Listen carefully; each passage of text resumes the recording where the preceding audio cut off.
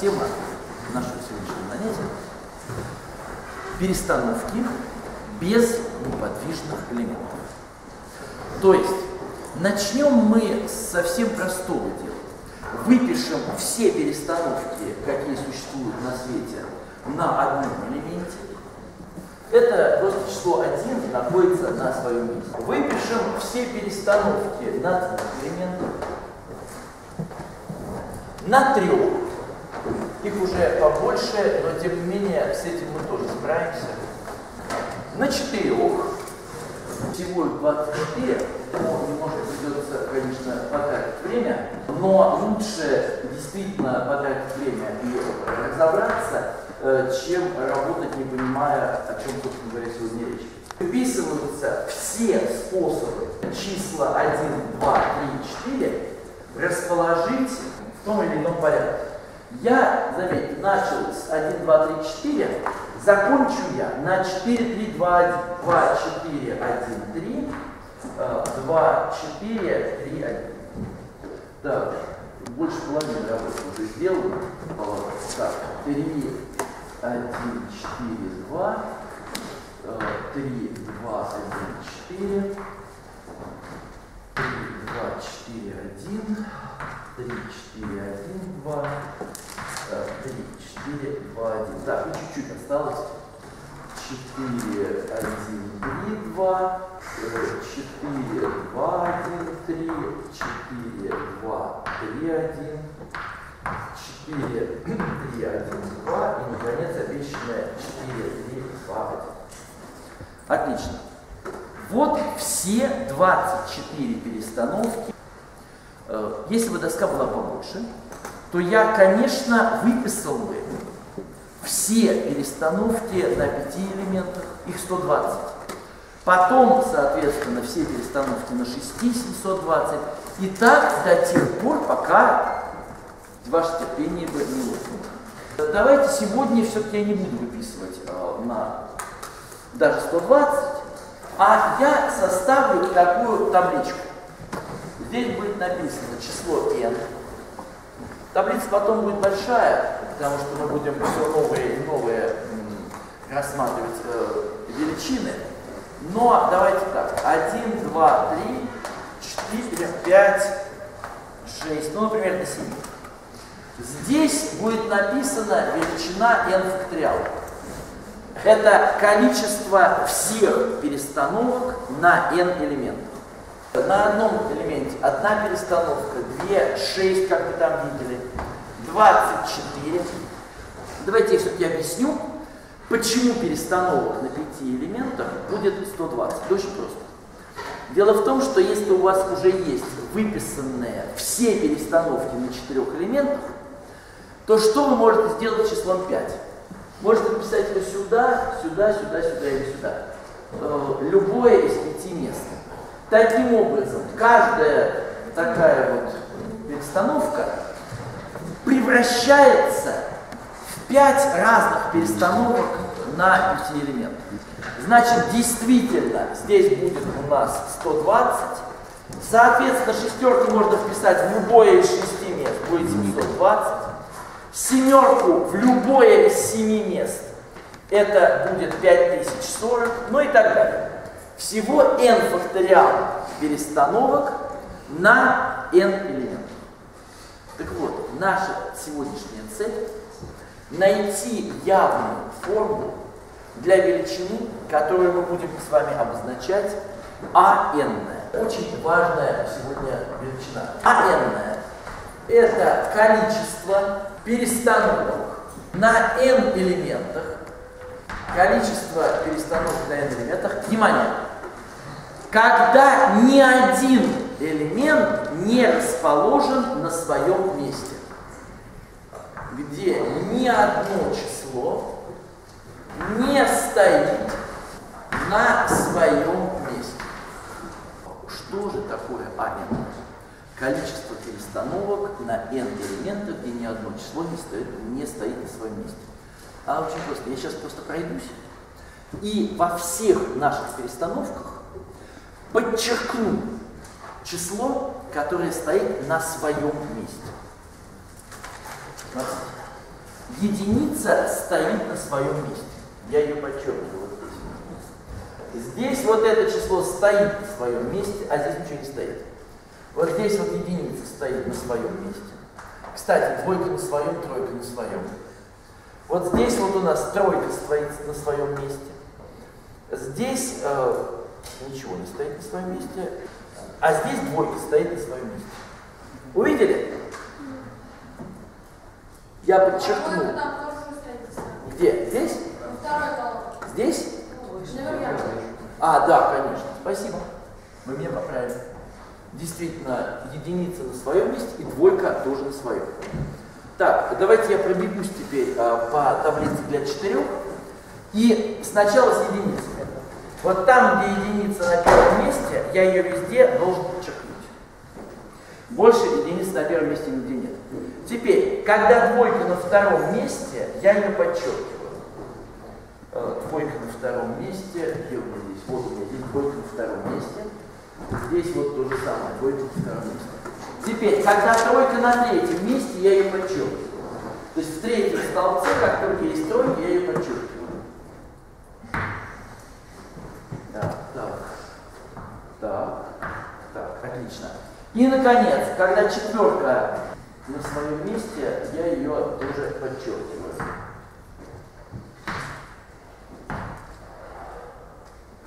Все. А вот теперь вопрос. Какие перестановки нас на самом деле интересуют? Те, где нет ни одного подчеркивания. То есть, вот эта перестановка, это, э, здесь, везде есть подчеркивания, э, здесь вот у нас ничего нет, здесь нет ничего, здесь нет ничего. Так, ребят, это совершенно несложная работа. Просто пройтись по всем перестановкам и выделить э, те, в которых нет э, неподвижных точек. Неподвижная точка – это когда число стоит на своем месте. Пишем результат. Э, когда перестановка на одном элементе, то 0. На двух единица. На трех, сколько там обведено? 9. А? Две. Четыре элемента. Сколько обведенных? Пересчитайте, пожалуйста. Девять, конечно, молодцы. А вот дальше интересный вопрос. А вот дальше непонятно, потому что мы же не выписали все перестановки на пяти элементах. Сколько здесь, сколько здесь, сколько здесь и вообще какая формула. Это и есть основная цель сегодняшней нашей встречи. Понять, что на самом деле там есть формула. Очень несложно эта формула может быть получена. Более того, даже двумя разными способами. Один из этих способов – это так называемая формула включения-исключения. Не хочу сейчас сразу про нее говорить, потому что а тут ситуация такая. Это некоторая красивая математическая идея формулы включения-исключения. Если вы ее знаете, то более или менее сразу из этой формулы вы можете все вывести. Но, с другой стороны, оказывается, что можно решить эту нашу задачу и не владея формулой включения-исключения, а просто внимательно наблюдая за перестановками. И это решение в чем-то даже интереснее. Нужно ввести величину bn, количество перестановок на n элементах, где там раньше было не одно число, а сейчас будет так, где ровно одно число стоит на своем месте. Я сейчас объясню. Э, для этого давайте сделаем так. Я пройдусь по тем же самым перестановкам. Здесь ровно одно число расположено на своем месте. Здесь такого нет. Вот в этой перестановке одно число на своем месте. Здесь тоже одно число. И здесь одно число. Так, давайте сразу. Значит, здесь одна такая перестановка, здесь ноль, а здесь сколько? Три. Запишу в таблице. Одна, ноль, три. Так, теперь, конечно, здесь дольше, но тем не менее справимся. Ребят, пожалуйста, внимательно за мной следите. Вот здесь вот одно подчеркивание, обведено раз, два, три, четыре, пять, шесть, семь, восемь. Согласны? Восемь. Вот, господа, я уже знаю, что называется, о чем здесь будет разговор, поэтому я знаю, на что обратить внимание. Смотрите, что нужно высчитать сейчас. А n минус bn. Минус единица, единица, минус единица, единица. Все почувствуют, что будет дальше? Что будет дальше? Минус единица. На самом деле будет минус один. А что будет потом? Один. Оказывается, действительно такой закон верен. Э, Давайте я его запишу. Оказывается, минус единица формула, которая сегодня будет доказана. И, между прочим, она достаточно неожиданна. Потому что, если вы посмотрите на определение, значит, АН – количество перестановок, где ни одно число не стоит на своем месте. БН – количество перестановок, ровно одно число стоит на своем месте. Совершенно понятно, почему эти числа будут отличаться на единицу. Более того, почему все время будет так, то плюс, то минус. Ребята, на самом деле между числами АН и БН есть некоторое очень простое соотношение, например, 5 чисел. Да? 1, 2, 3, 4, 5. Вам нужно переставить их так, чтобы ровно одно из них оказалось на своем месте, а остальные не на своем. Смотрите, как это делается. Вот у меня есть рука. Представьте себе, мой большой палец остался на своем месте, а эти четыре переставились. Сколькими способами можно переставить четыре пальца, чтобы ни один не оказался на своем месте? Нет, не четыре факториала. Четыре факториала это всего. А четвертое. Девять способов. Согласны? Это когда большой палец на своем месте, а остальные четыре девятью способами переставляете. Отлично. Указательный способ на своем месте, а остальные четыре переставляются. Сколькими способами? Девятью. Средний, безымянный, мизинец. Каждый раз сколько способов? Девять способов. Всего сколько? 45. 45, конечно. Конечно, 45. Это совершенно замечательный, простой способ, господа. Давайте я его напишу. Если вас интересует bn плюс 1, то нужно n плюс 1 умножить на ан.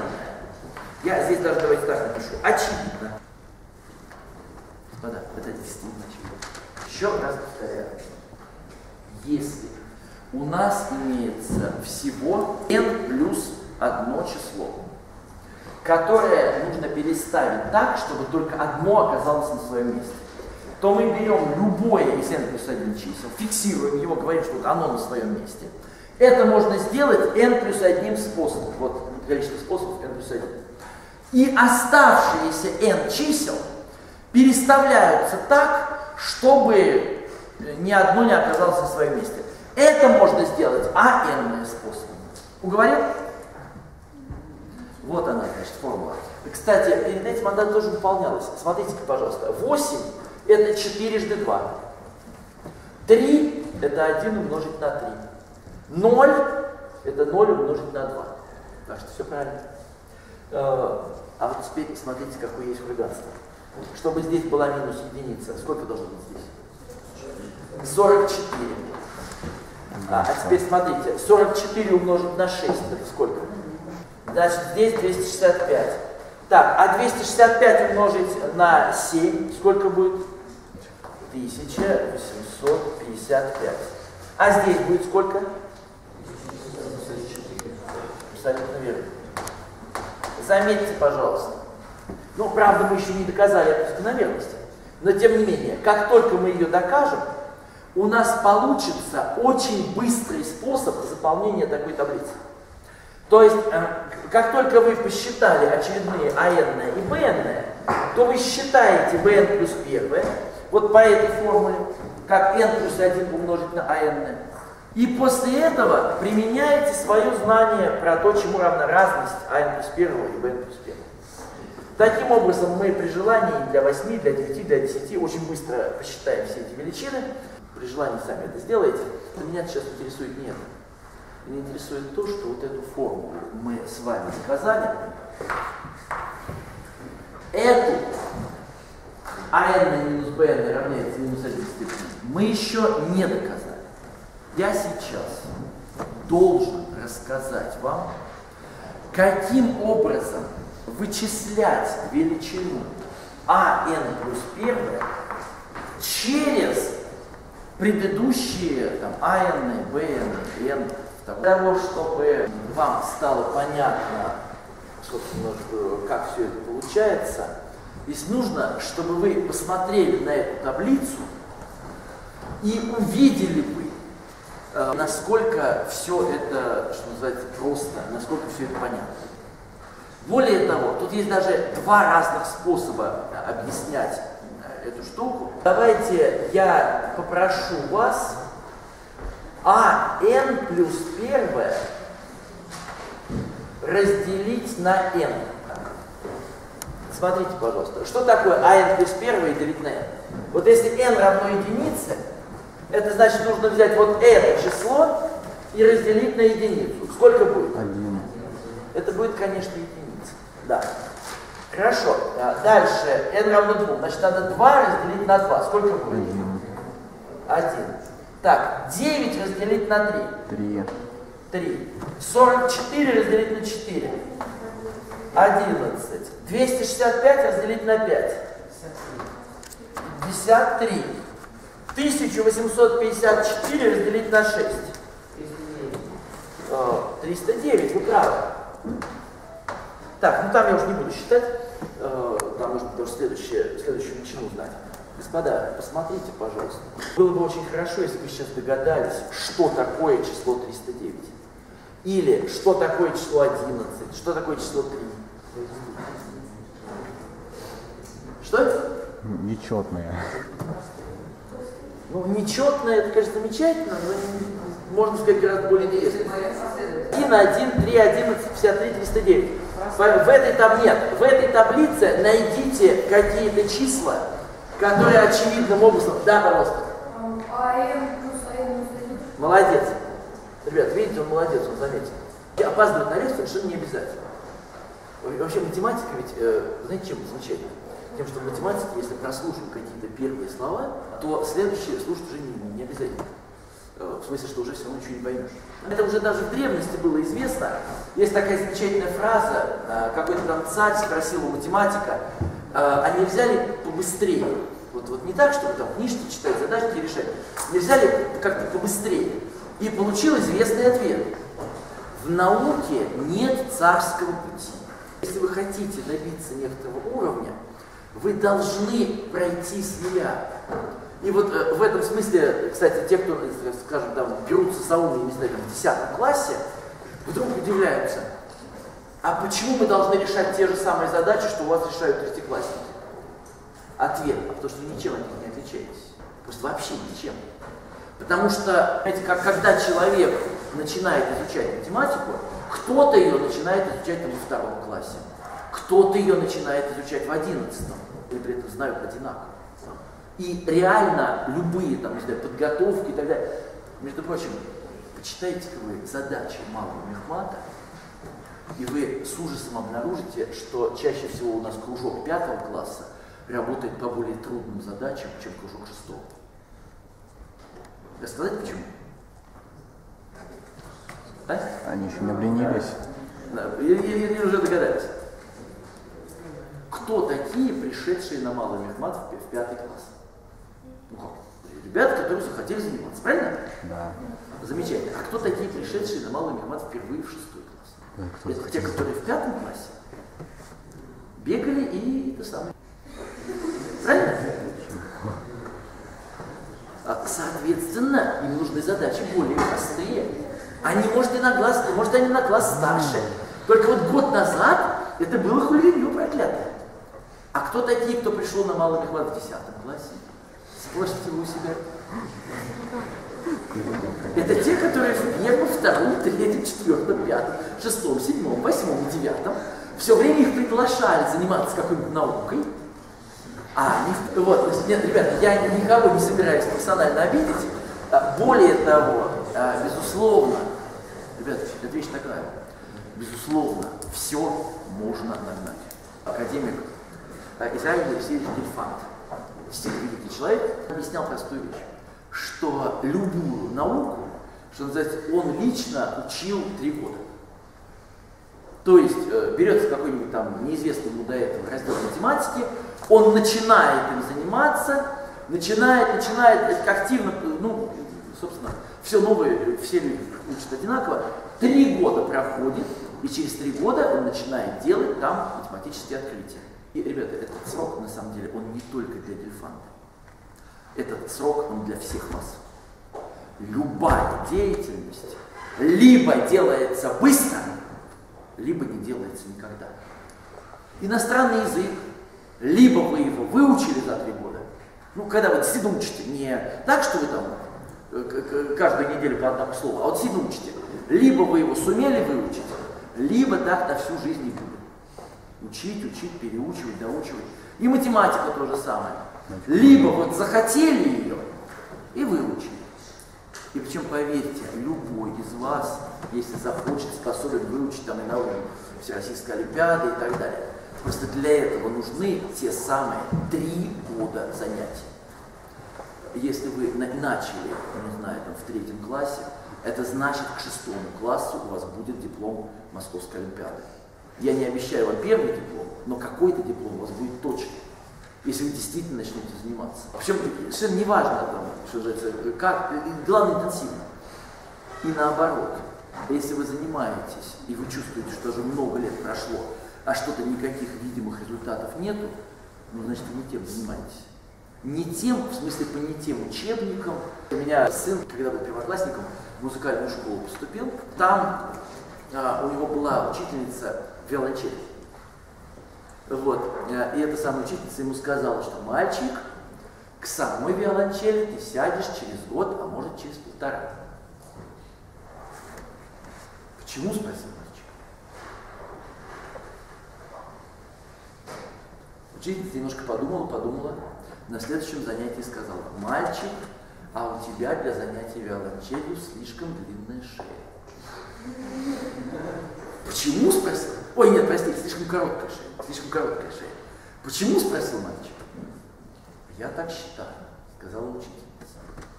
После этого мальчик шел как-то раз на художественной выставке и увидел там совершенно замечательные современные скульптуры. Корова с шеей, как у жирафа. Вот, он немедленно потребовал у меня, папа, папа, скажи, как ее можно купить, хочу подарить этой учительнице. Это у нее будет идеальный виолончелист. У нее никогда никаких приличных студентов не было, пусть у нее будет хоть один. Она поставит эту скульптуру коровы с шеей жирафа э, и будет радоваться, что у нее хоть один есть настоящий студент. Никогда нельзя стесняться, что называется, решать малышковые задачи. Потому что настоящий путь изучения – он не зависит от того, начали вы это делать там, в первом классе, во втором или в десятом. И второе, никогда не нужно стесняться того, что вы чего-то не знаете.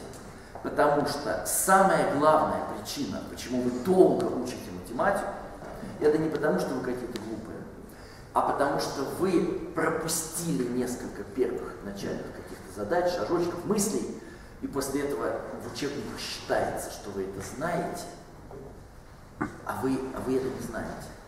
Всегда какие-то начальные вещи пропустить гораздо страшнее, чем не выучить какие-то сложные вещи. Потому что как только вы пропускаете какие-то базовые вещи, так дальше вы зависаете полностью. Так, это я все для опоздавших говорю. Значит, мы сегодня занимаемся перестановками. Перестановки эти бывают на n элементов. Вот здесь все перестановки на четырех, здесь на трех, здесь на двух, здесь на одном. И мы с вами сейчас будем доказывать такую замечательную форму. а n плюс 1 это есть n умноженное на ан плюс ан минус 1. ту же самую форму можно переписать чуть-чуть по-другому. Если раскрыть скобки, то смотрите, что это будет. Это будет n умножить на an, плюс n умножить на an минус 1. Так, господа, а что такое n умножить на an минус 1? Это bn. Значит, на самом деле, вот это вот второе слагаемое, это bn. Э, давайте я эту формулу перепишу. Итак, АН плюс 1 это n умножить на АН плюс БН. Пожалуйста, посмотрите по таблице, действительно ли это так. Давайте я введу, я специально рассчитал как таблицу, введу вам последний столбец n умножить на АН n единица, а n в этом случае 0, это будет 0. Дальше дважды 1 это будет 2, э, трижды 2 6, четырежды 9 это 36, 5 умножить на 44 это, по-моему, 220, 6 умножить на 265, это уже интереснее. Это 1200, 360 и 30. 1590. И последнее. 7 умножить на 1854. Ой, а можно я не буду умножать, потому что это все равно относится к следующему. Так, ребята, посмотрите, пожалуйста, внимательно. n умножить на an плюс bn. Вот все видите, 1590 и 264. Вы согласны, что это 1854? Дальше. 220 и 45. Это же правда 265? 36 и 8 это 44, 6 и 3 это 9, 2 и 0 это 2, 0 и 1 это 1. Все правильно. В таблице эти закономерности действительно выполняются. Я умею доказывать, что называется и так, и так. Хотите, я вам докажу вот эту формулу. Хотите, я вам докажу ту n умножить на an плюс bn. На самом деле оба эти варианта вполне достойны. И поэтому, поскольку я не умею выбирать, не знаю, что из этого интереснее, давайте я сделаю так. Я расскажу вам оба ступени. Знаете, если не умеешь выбирать, то просто покупай? Две формулы. А n плюс 1 это есть n умножить на АН плюс АН плюс 1. И АН плюс 1 это n умножить на АН плюс БН. Начну с верхней формулы. n умножить на АН плюс АН минус 1. Это доказательство совсем короткое, его надо просто, что называется, понять, представить. Вот смотрите. Вот представьте себе, что у меня есть n плюс 1 предмет вот прямо на столе какие-то предметы, предметы. Они расположены в некотором порядке, скажем, первый, второй, третий, четвертый, пятый, минус Замечательно. А, мне их нужно переставить так, чтобы ни один не оказался на своем месте. Смотрите, понятно ли вам, что на первом месте окажется какой-то из этих предметов? Причем, заметьте, на самом деле не так важно, какой именно. Потому что с точки зрения вот этого первого предмета, все остальные, они же на самом деле на одно лицо. Это просто важно, что это не первый предмет. Согласны? Отлично. Так вот, давайте так и напишем. Вот есть у меня места. 1, 2, 3, 4 и так далее. n, n, n, n плюс 1. Вот на первом месте окажется некоторый катый предмет. Все, что я знаю о числе k, что это не единица. И дальше давайте думать, какой предмет окажется на катом месте. Вот на первом месте оказалось число k. Что может оказаться на катом месте? Ну, один вариант такой. На катом месте может оказаться единица. Совершенно запросто. Смотрите, что у нас произошло фактически единицы и k поменялись местами, а остальные числа, а их n-1, должны быть переставлены так, чтобы не было неподвижных точек. Согласны? Это делается АН минус первое способом. Количество перестановок на n минус одно место. Заметьте, одно место не такое, второе такое, а всего было n минус одно место. Значит, осталось n минус одно место. А n минус первое, в которых э, мы переставляемся. Согласны? Вопрос. Зачем умножать на n? Да очень просто. Потому что в качестве числа k мы могли взять двойку, тройку, четверку и так далее. Согласны? Да. Вот я вам, значит, объяснил смысл вот этого слагаемого. n минус 1, а n минус 1 умножить на n, это есть все перестановки такого типа. Когда на месте единицы оказалось какое-то число k, а на k месте оказалась единица. Вот таких перестановок будет n умножить на n минус 1 штука. Отлично. А теперь, ребята, представьте себе, что здесь у нас оказалась не единица. Я не знаю, что, но точно не единица. Тогда давайте посмотрим, что у нас должно быть вот здесь. А здесь у нас, господа, должна быть не двойка. А что у нас должно быть здесь? Не тройка. Замечательно. А что должно быть здесь? Не n. А что должно быть здесь? Не число n плюс 1. На самом деле это страшно похоже на вообще сегодняшнюю задачу. Единственное, вы мне скажете, что должно быть здесь не k. Ну, господа, слушайте, вы понимаете, что число k уже на своем месте зафиксировано? Поэтому на самом деле, конечно, у нас там где-то есть единица, но вы можете взять и вместо единицы мысленно написать число k. Потому что число k все равно уже на своем месте находится. И если вы вот здесь вот, э, так сказать, вместо единицы будете писать k, то тогда фактически у вас получится здесь не двойка, не тройка, не четверка, не k, не n, не n плюс 1. Задача в точности свелась к тому, что посчитать количество перестановок на n элементах, в которых нет ни одной неподвижной точки. А таких перестановок ровно n штука. Опять-таки, э, k выбирается n способами. В качестве k может любое число от 2 до n плюс 1. И значит, таких вот перестановок у нас будет n умножить на n штука. Так, ребята, по себе знаю, что это рассуждение, что называется, не за одну секунду понимается. Пожалуйста, представьте себе, значит, у вас выписаны числа 1, 2 и так далее. Есть имеется на, на первом месте уже написанное какое-то число k, и вот дальше вы должны писать не двойку, не тройку, не четверку, не единицу. Но у нас как бы единица и k это k уже зафиксировано здесь. Дальше не n, не n плюс 1. И поэтому таких перестановок будет действительно ровно а n штук. Все, я считаю, что это объяснено. Теперь объясню вам вот эту форму. Э, в смысле математики это будет более-менее то же самое, но в смысле педагогики э, будет огромная разница.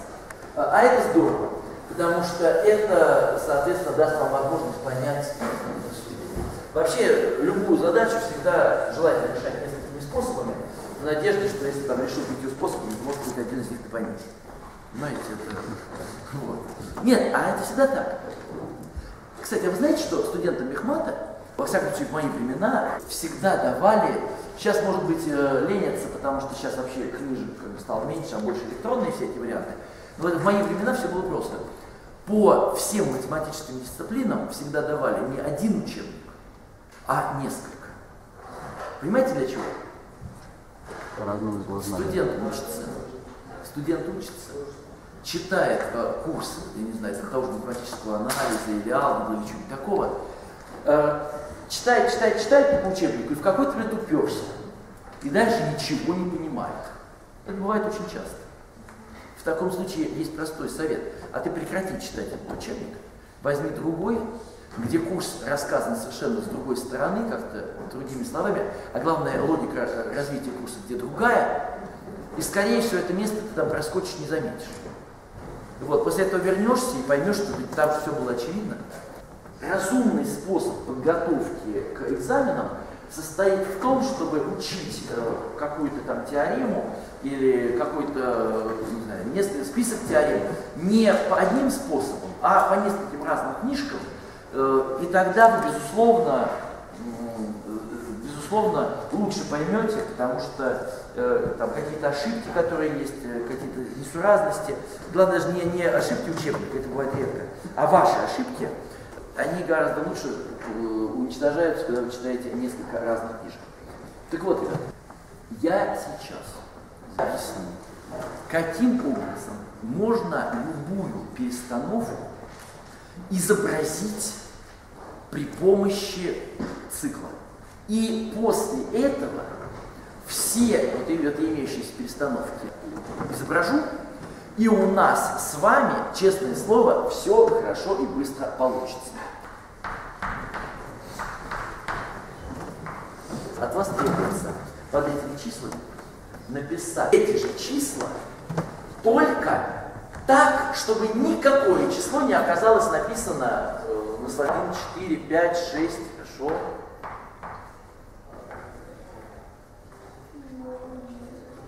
Что же мы еще не писали?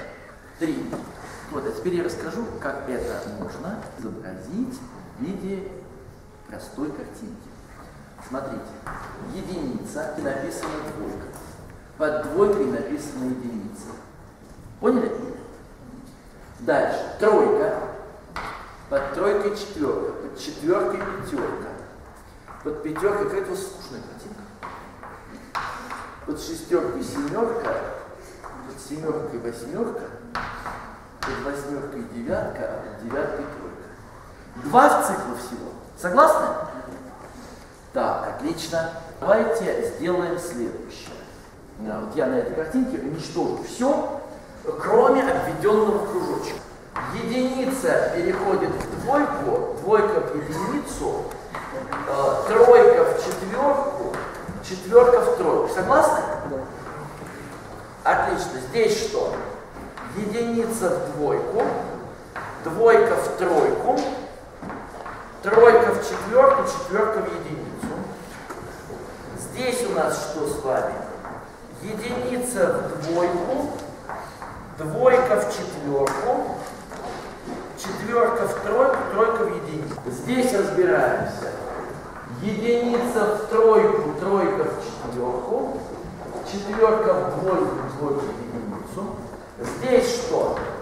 1, 3, 3 в 1, 2 в 4, 4 в 2. Так, недолго осталось. Что здесь? 1 переходит в 3, 3 переходит в 2, 2 в 4, 4 в 1. Так, отлично. Что здесь? Единица в четверку, четверка в тройку, тройка в двойку, двойка в единицу. Так, осталось всего две картинки. Что? Один, четыре, четыре, слева внизу. Вот это? Нет, левее. Вот это? Еще левее. Здесь? Так. Так, а здесь что было на самом деле? 4 в 3, правда? Спасибо, что поправили. Так, вес я уже забыл, где... Так, здесь, по-моему? Так, 1 э, в 4, 4 в 2, э, 2 в 3, 3 в 1. Так, и последнее осталось. Э, 1 в 4, так, 4 в 1, 2 в 3 и 3 в 2. Видите, что значит ни одно число не на своем месте. Нет такого, чтобы число приходило само в себя. Согласны? То есть циклы длины 2 бывают, а вот циклы длины 1 не бывают. Замечательно. И сейчас я должен задать себе простой вопрос. Вот скажем, у меня есть перестановка на 9 элементах. Как из нее легко получить перестановку на 10 элементах, у которой нет ни одной неподвижной точки? Ребята, а на самом деле очень просто. Сказки про мантии невидимки читали? Да. Ну, читали наверняка. Представьте себе простую вещь. Когда у вас есть перестановка на э, не знаю, 10 элементов, представьте себе, что число 10 э, берет и исчезает. Можно взять, например, сюда 10, 1 в 10, а 10 в 2. Классно? Или 2 в 10, а 10 в 1. Вообще, на любое из этих мест можно взять и написать эту самую десятку. Понимаете идею? Да. Так вот, это и есть вот это вот слагаемое. n умножить на ан. Значит, давайте я еще раз жестко объясню, что это такое. Если у нас имеется любая перестановка на n плюс одном элементе, то смотрите, что можно сделать. Мы можем эту перестановку вот таким вот образом выписать, превратить ее в такие циклы. Понятно? И число n плюс 1 может взять и превратиться, там, накрыться невидимкой. Исчезнуть. Тогда стрелочка, которая идет через n плюс 1, она просто пройдет, его не заметив. И когда мы будем возвращать n плюс 1 на место, то есть простой способ. Взять, нарисовать все АН вариантов и после этого, вот скажем, здесь написано, здесь нарисовано у меня все варианты, все 9 вариантов, 9 да, а, для 4. И после этого взять пятерку вставлять сюда, сюда, сюда, сюда, это будет 4 варианта. Сюда, сюда, сюда или сюда. На каждой из этих картинок пятерку вставляем в одно из этих э, четырех мест. Соответственно, вы получаете вот столько вариантов. n умножить на n. n умножить на n вариантов. Э, потому что э, стрелочек на нашей картинке ровно n штук. Э, когда число плюс 1 добавляем, то стрелочек n вот. Вопрос. Откуда берется слагаемое bn? Очень просто. Дело в том, что когда число n плюс 1 надел на себя мантию невидимку, то возможен такой вариант. Вот представьте себе, что вот это у нас была, скажем, десятка, она надела на себя мантию невидимку, и тут получилось, что единица переходит в единицу. Цикл мог быть очень коротким, слишком коротким, состоящим всего из двух элементов. Так что когда, э, э, цикл с участием числа n плюс 1. Так что когда число n плюс 1 исчезло, то этот цикл выродился. Он превратился в то, что число переходит само в себя. Смысл поняли? Теперь вопрос. Как же вспомните, что такое BN? Это количество перестановок, у которых есть один единственный подвижный элемент. Так все просто. Если у нас есть эти самые BN таких вот перестановок, то мы берем любую из них, там есть неподвижный элемент, и к нему добавляем число n плюс 1. Поняли идею? И у нас получается добропорядочная перестановка для n плюс 1, потому что число n плюс 1 входит уже теперь в цикл длины 2, а вовсе не в цикл длины 1. Ну, что я могу сказать? Значит, на самом деле, э, на самом деле, два способа доказательства той формулы вам рассказаны. И сейчас, пожалуй, мне нужно доказать вот эту формулу. Потому что, э, конечно, рекуррентные формулы для А плюс первого, Б плюс первого мы доказали. Вот, а сейчас нужно объяснить, как же оттуда получается вот эта формула. Нет ничего проще. Дело в том, что мы можем рассуждать при помощи математической индукции. База n равно единице. Смотрите, а первое минус b первое. Вы же помните, чему равны а первое и b первое? Нулю и единице. 0 минус 1. А это минус 1 в первой степени. Значит, действительно, база у нас есть. База прямо. Теперь индукционный переход. Пусть для некоторого n мы уже знаем. Ребят, можно я не эту формулу? Я просто поставлю здесь стрелочку, воспользуюсь тем, что я недоступен. Итак, пусть эта формула для некоторого n уже доказана. Тогда, тогда, а тогда все очень просто. АН плюс первое минус БН плюс первое. Значит, ребят, смотрите, что такое АН плюс первое? Это n умножить на АН э, плюс э, БН. Правильно? Замечательно. А что такое bn плюс 1? Это n плюс 1 умножить на an.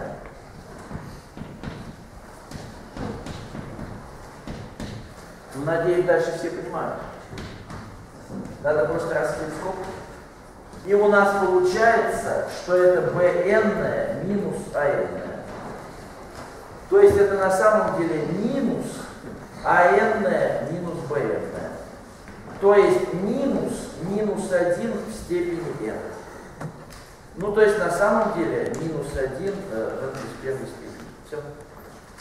То есть то равенство, которое у нас было, ну, безусловно, доказано.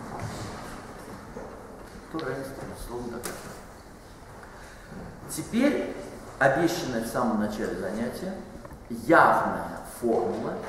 Для этого я предлагаю нам с вами просто-напросто посмотреть на то, каким э, образом, каким можно преобразовать такую величину.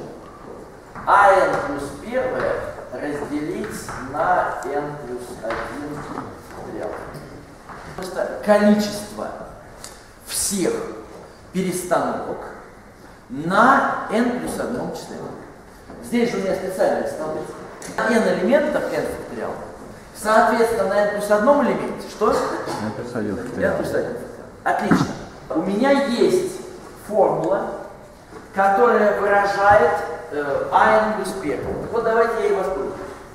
Это есть n умножить на an плюс bn разделить на n плюс 1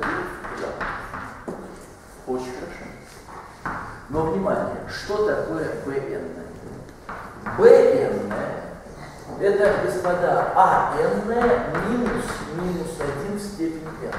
Или другими словами, это АН плюс минус единица n плюс первой степени. Пишу. n умножить на АН плюс АН плюс минус единица в n плюс первой степени. Сейчас будет чудо. Сейчас на самом деле произойдет маленькое чудо. Ребят, вот смотрите. Я сейчас просто-напросто э, вынесу плюс 1 за скобки.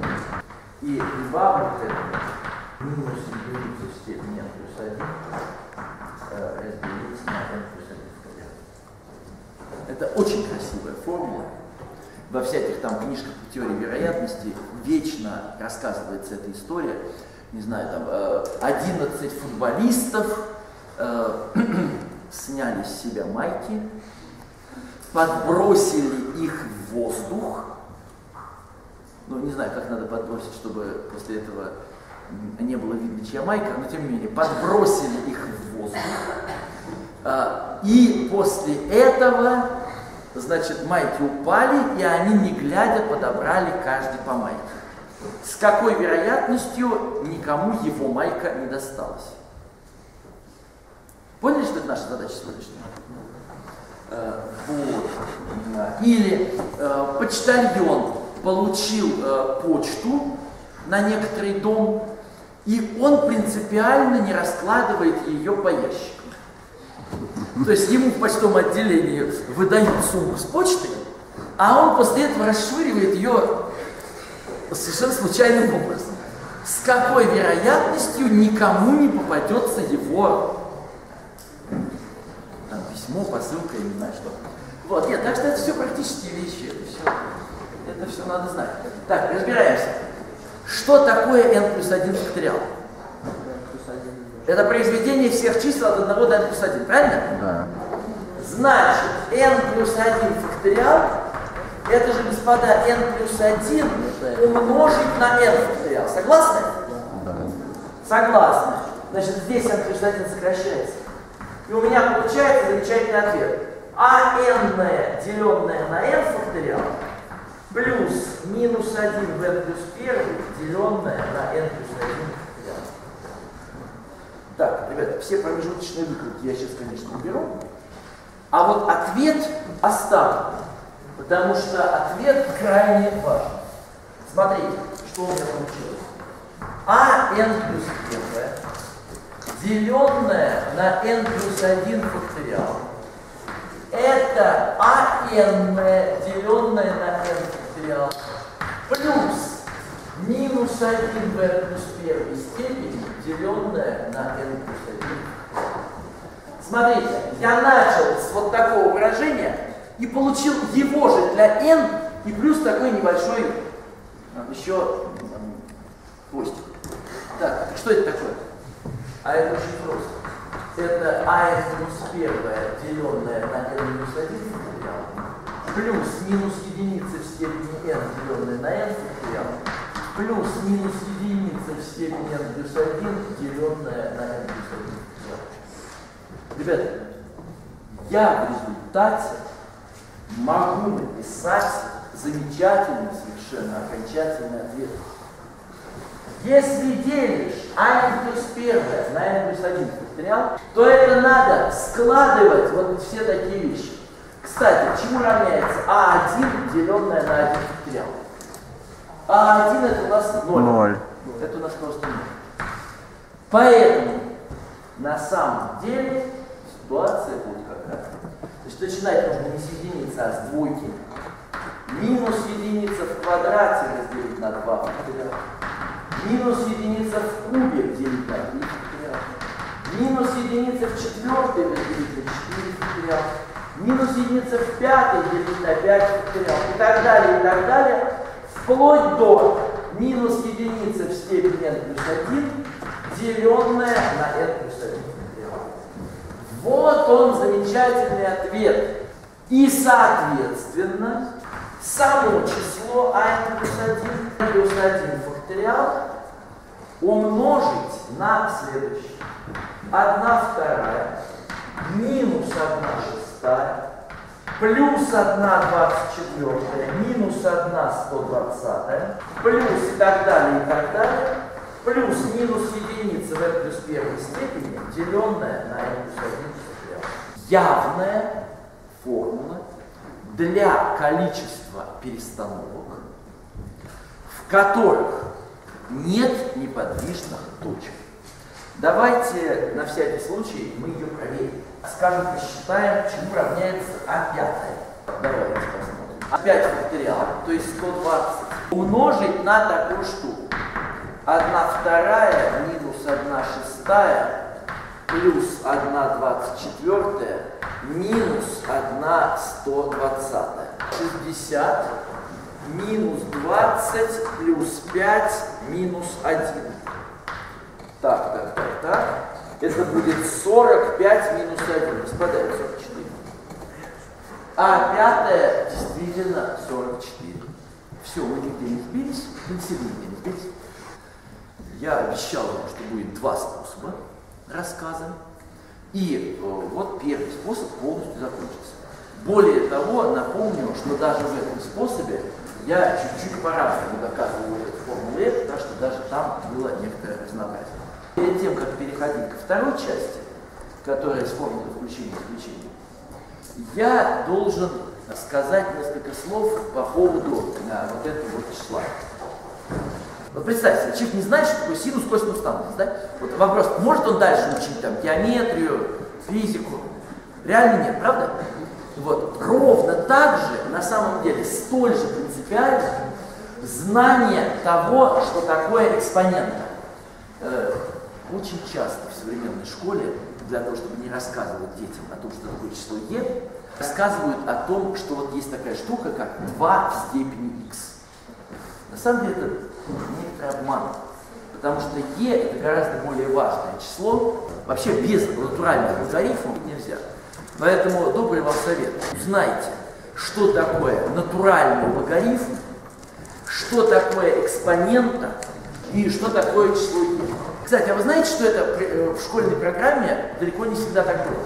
В добрые старые времена то, что называется логарифм экспонента, изучали, э, тогда это назывался седьмой класс, сейчас это называется восьмой класс. И было все абсолютно логично. Потому что действительно примерно в этот момент для физики и для химии э, это самое число Е нужно, ну и, соответственно, логарифмы нужны. Вот. А дальше произошло следующее. Взяли и просто волевым приказом в, школе, в стандартной школьной программе переставили тему логарифма, где она якобы плохо и трудно усваивалась, из э, 8 класса, я говорю по новым, э, по новым классам, из 8 класса в 11. Эффект произошел совершенно потрясающий. Это примерно так же, как если бы изучение русского алфавита переставили бы из первого класса для удобной понятности в восьмой. Вот, эффект примерно такой же по мощности, да? Главное, что в 11 классе он тебе не нужен. Потому что после того, как человека уже научили э, физике, химии без логарифмов, после этого, понимаете, да? Что называется, ему уже некогда, он уже, то, что он в 11 классе узнал, э, это, ну, ну, знал, да. Счастье было возможно. Вот, но ну, все, уже, уже пенсионер, уже все. Есть такая функция, называется e в степени x.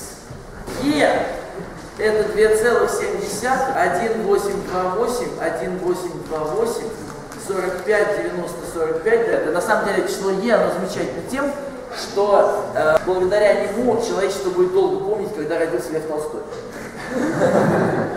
Понятно, да? 1828 год, год рождения Ивана Николаевича Толстого. Вот, так что вспоминается э, год рождения Толстого очень легко. Значит, вспоминаете, чему равно число Е, и вот э, Толстой там закатил, да? Вот, а это узлы прямоугольного равноведного треугольника. 45, 90, 45 тоже запомнили. Значит, Толстой и прямоугольный равноведный треугольник. Вот, так, итак, что такое Е в степени x? Это, господа, единица плюс x плюс x квадрат пополам плюс x в кубе на 6 плюс x в четвертой делить на 24, плюс x в пятой делить на 120, плюс x в шестой делить на 720. Дошло? Плюс x в степени n делить на n факториал, плюс и так далее. Давайте возьмем, узнаем, что такое e минус 1. Это 1 минус 1. Ну, скорее всего, что это 0. Дальше внимание. Плюс 1 вторая, минус 1 шестая, минус 1 120 и так далее до бесконечности. Господа, вот эта самая скобка, это почти что одна ЕТ. Понимаете? Единица делить на 2,71828 и так далее. И так далее, и так далее.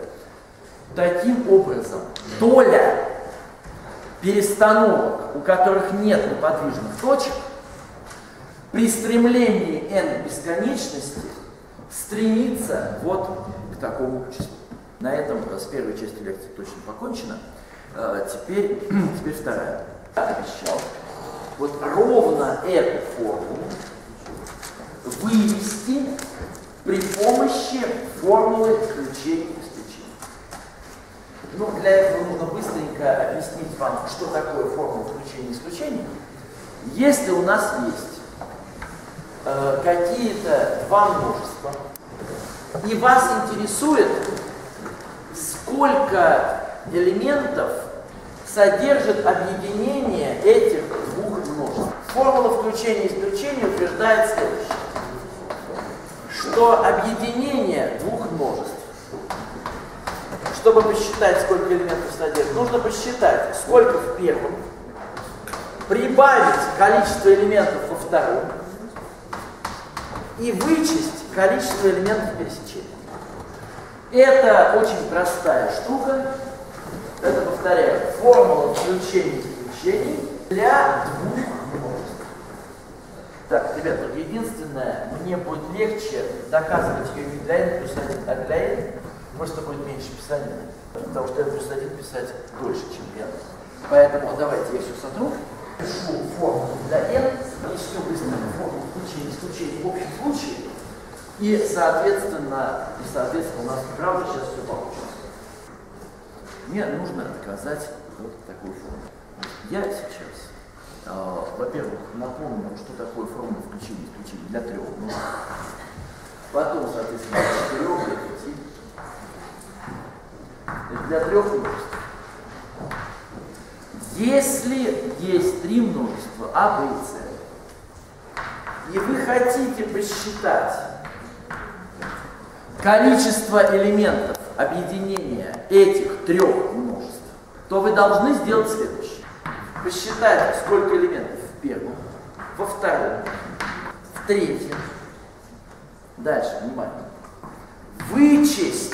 То есть вертикальные балки обозначают количество элементов. Всевозможные пересечения. Прибавить тройное пересечение.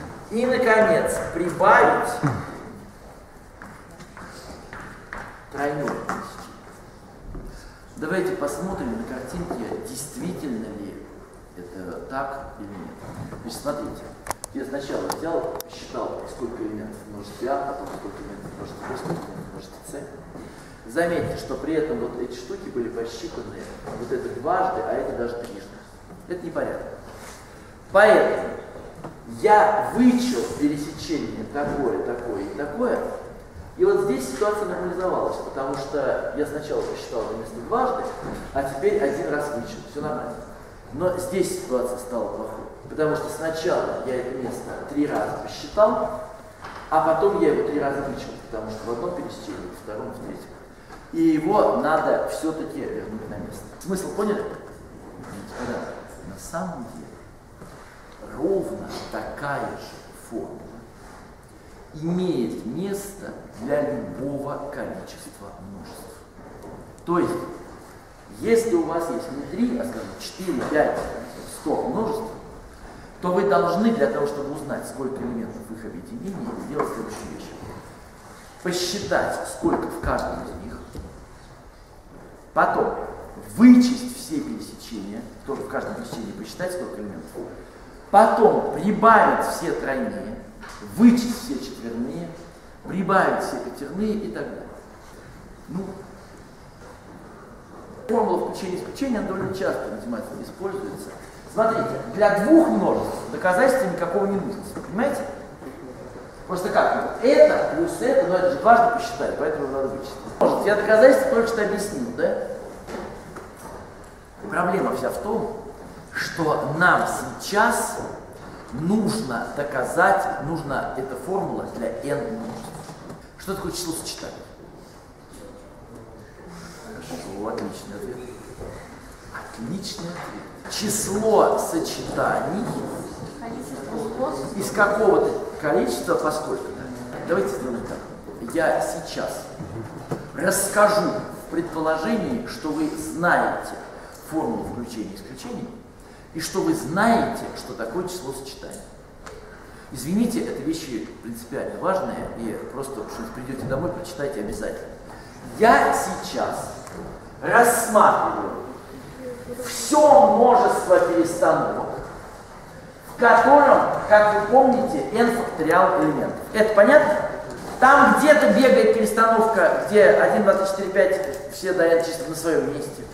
Где-то бегает наоборот перестановка, где они строго в обратном порядке написаны. Все n факториалы перестановки. И я рассмотрю следующее. Множество C1 состоит из перестановок, у которых единица стоит на первом месте, а остальные числа как хотят. Хотят на своих местах, хотят на чужих. Нас это не интересует. Кстати, какое количество элементов э, в множестве C1? Сколько штук? Перестановок, у которых единица стоит на первом месте, а остальные как хотят. Нет, не b. Просто n-1 факториал. Потому что могут стоять на своих местах, могут не стоять. Просто единица на своем месте, а остальные элементы, так же, как в любой перестановке на n-1 элементе. Все понятно? Отлично. А вот еще у нас есть множество, которое будет называться C2. Почему-то я его нарисовал более жирным, хотя по количеству элементов оно ровно такое же, как C1. Это все перестановки, у которых двойка стоит на втором месте, а остальные элементы как хотят. Догадайтесь, что у нас еще есть. C3. Что такое C3? Тройка на третьем месте, а остальные как хотят. C4, C5 и так далее C. Смысл понятен? Э, итак, СКТ, пишем, это перестановки, где К стоит на К месте. Число К переходит в число К. А теперь вопрос. Что такое перестановки без неподвижных точек? Ответ очень простой. Это те, где единица стоит не на своем месте, и двойка не на своем. Это все, кроме вот этих множеств c. Согласны? Да. В результате то, что мы сейчас с вами должны сделать, это посчитать количество перестановок, которые не вошли ни сюда, ни сюда, ни сюда, ни сюда, которые вне всех множеств c. А это делается очень просто. По формуле включения исключения. Надо взять все перестановки. Все, я уже начал. Надо взять все n факториал перестановки. Внимание. И выбросить C1, C2, C3 и так далее, Cn. Таких множеств n штук. Поэтому я выбрасываю n умножить вообще-то на n минус 1 факториал. Потому что в множестве C1 элементов у нас n минус 1 факториал. И в этом n минус 1. Когда я все их выбрасываю, то я выбрасываю э, n множеств, в каждом из которых n минус 1 факториал. Согласны? Да. Отлично. А потом помните, что надо делать по формуле включения исключения? Вычесть пересечение. Прибавлять. Прибавлять попарные пересечения. Так вот, господа, что значит попарные? Это значит, надо рассматривать всевозможные пары. Этими способами можно из n элементов выбрать два. Известная вещь. Надо выбрать сначала любой элемент, потом любой другой и разделить на два, потому что неизвестно, ну, неважно, в каком порядке я их выбирал. Согласны? Да. Отлично. А теперь вопрос. Скажем, пересечение C2 и C6. Это что за перестановки? У которых двойка стоит на втором месте, а шестерка на шестом, так? А остальные n-2 элемента как хотят? N Сколькими способами? n-2 факториал. Значит, надо здесь умножить на n-2 факториал. Так, теперь надо вычитать тройные пересечения. Нет ничего проще. Это я пишу опять число сочетаний из n корня. То есть n умножить на n-1 умножить на n-2 и разделить на 6. И умножаю все это на n-3 факториал. Понимаете, что происходит? А теперь я прибавляю всевозможные четверные пересечения.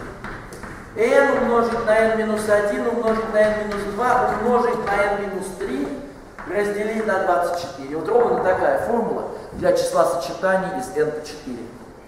Надо умножить на n-4 факториал. И так далее, и так далее до самого конца. Вплоть до самого конца. Ребята, осталось заметить простую вещь. Что n умножить на n-1 факториал, это что такое?